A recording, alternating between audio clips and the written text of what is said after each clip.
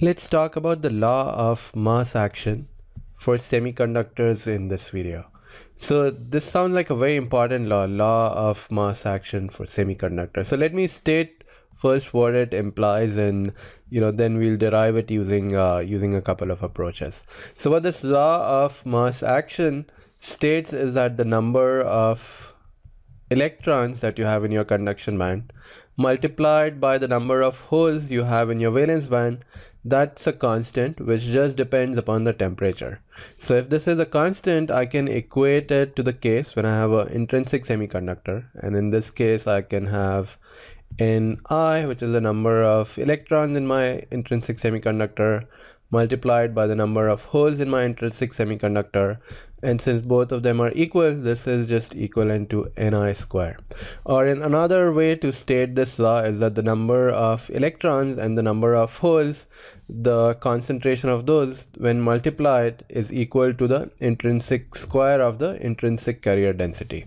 So this is a very important law and i want to use uh, uh, more than one approach to to arrive at this uh, arrive at this uh, conclusion so you know stop or pause this video if, if you if you think if you have already heard about this term law of mass action. So if you have heard about law of mass action that you know just stop and just think about or google where you have heard it before. So another place where you might have heard of uh, law of mass action is when you were taking a, a freshman chemistry or, or, uh, or chemistry in your high school. And over there when this law of mass action is typically applied to this let's say you have a reaction between compound A and B and they react to form C and D so the rate of this forward reaction, this is given now by this rate of the forward reaction. This is proportional to the amount of species A and it's also proportional to the amount you have or the concentration you have of, of, a species B. And these are, they, they could be, you know, multiplied by different exponent. But this is in general what is known as the law of mass action. So let me try to draw an analogy of how we can apply the same law and, you know, what would be the corresponding reactions if you have a semiconductor. So if you have a semiconductor, let me draw the conduction and the valence band of a semiconductor. So you have a semiconductor like this. So the two two two equivalent or you know two opposing reactions that we can think of are generation and recombination so electrons which are present in the valence band they can thermalize or you know they can gain enough energy to move over to the conduction band so when that happens they will essentially move over to the to the conduction band and become these conduction electrons. And at the same time that would create a hole in the valence band. And so this is called the process of generation. And the reverse process is, is that if you have sufficient number of electrons in your conduction band and holes in your valence band. This conduction band electron can now recombine with this uh, hole present in the valence band. So there could be this process happening when this when this electron combines with this hole and it's uh, it's annihilates this electron and hole pair. And then pro that process is called recombination.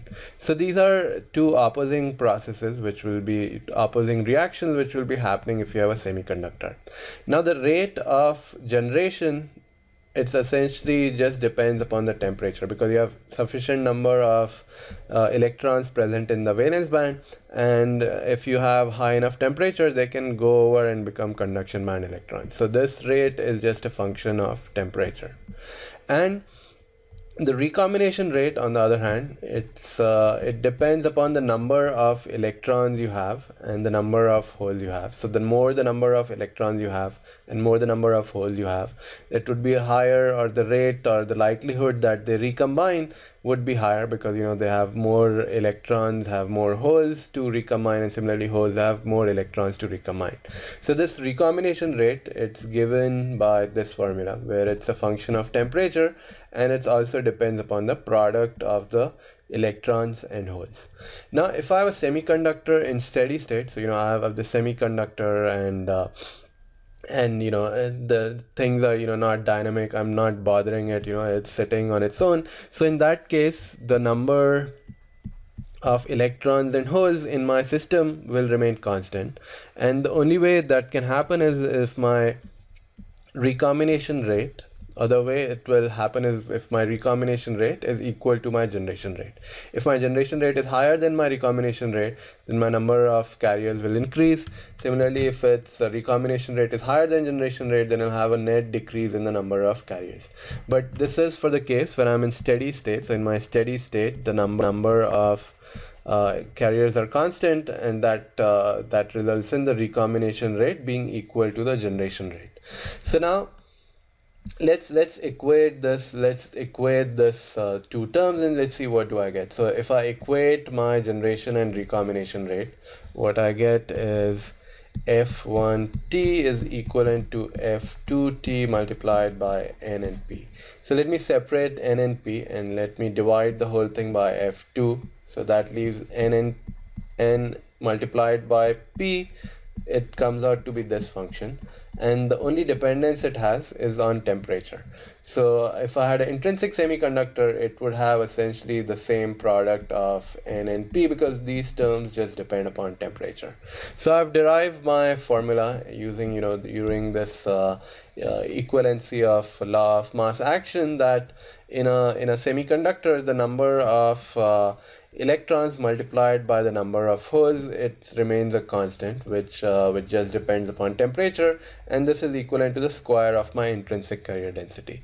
So the profoundness of of this law will be apparent if we if we you know just put some numbers. So what this law is stating say let's say i have a intrinsic semi let's say i have let's take the case of silicon. So silicon has an intrinsic carrier density of approximately 10 to power 10 per per centimeter cube. So if I if I if I increase the number of electrons in my silicon, let's say I increase the number of electrons from uh, I, I increase it by five orders of magnitude. So I increase it from 10 to power 10 to 10 to power 15. So what, what this would entail by this law of mass action is because my number of electrons multiplied by number of holes, this remains constant. And in the case of silicon, this is 10 to power 20. So if I, if I increase, increase my number of electrons to 10 to power 15, I'll only have 10 to power 5 holes. So if I'm doing, if I'm increasing my electrons by 5 orders of magnitude, it's in it's accompanied by a decrease in 5 orders of magnitude in the concentration of holes. So this is now now this is trying to become interesting. What it's saying is that if I increase this, then I decrease this, and the product of them remains the constant. And in the next video, I'll, I'll look at that another approach which we can use to derive the same law.